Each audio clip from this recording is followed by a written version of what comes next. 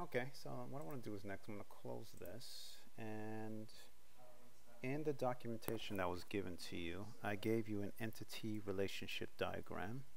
So let's go here and say create new ERD uh, I'll call this uh, CST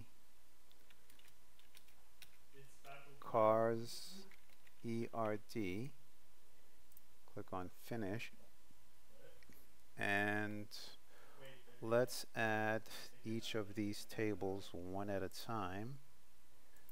Okay add cars group. Let's add cars. Let's add car transaction. Let's add city. Let's add customers. Let's add months. Let's add salesperson.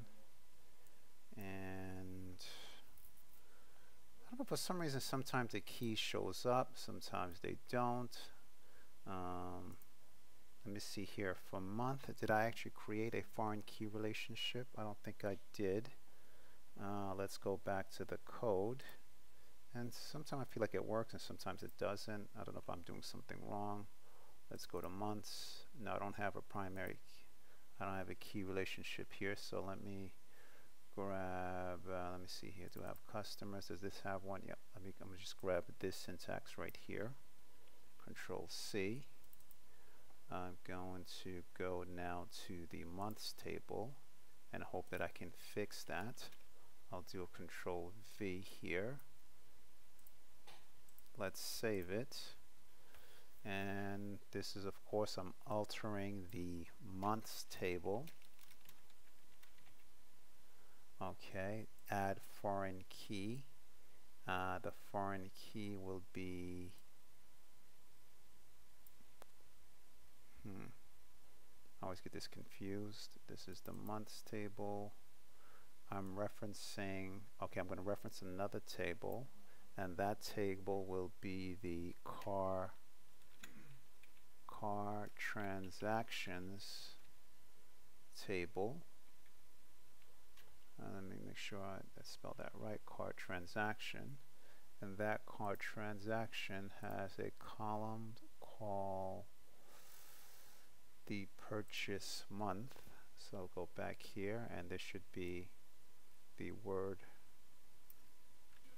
purchase month.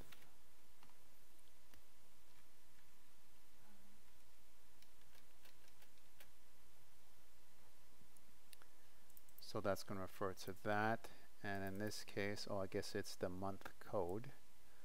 We're going to say here month code. So month code on this table will match up with the purchase month on that table. Let's save it. If I did that correctly, it should work. Uh, let's go here to SQL editor. Let's do control V. Let's execute that. And let me see here what's what is it saying. There is no unique primary key on table app transaction that matches with the types of the foreign key here. So let's see, purchase month is varchar 10 here.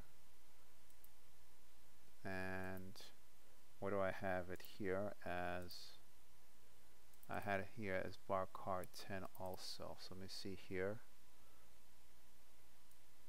That should have matched. Let me see what's going on here.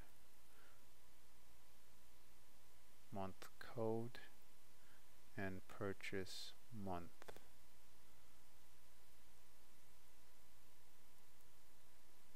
So alter table months.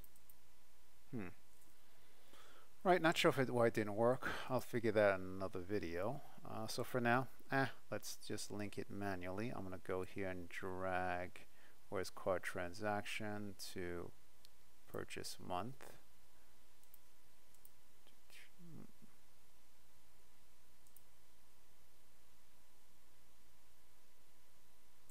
Month code, varchar 10. I'll just do that for now. Let's save that. Okay. Uh, I will work on to see why this was wrong. So don't worry about that for now. And so that looks like everything is linked. And then I can just drop the views here. So remember the views are really virtual tables, so you won't see a really link ever. Now you can add them just to, for, you know, just to kind of help you with your queries. Uh, so I'm just going to put them here. And this is how I created my ERD that I gave you guys. So I also love the tool because of this. Alright, so alright, that's it with the uh, ERD 101. And I hope this helps. Alright, with that, good luck and good coding.